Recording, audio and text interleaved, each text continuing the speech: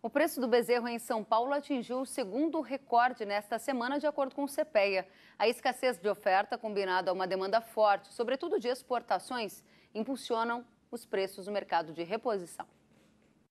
O indicador CPEA do bezerro em São Paulo renovou o recorde histórico pela segunda vez na semana. O preço avançou para R$ 2.171,47.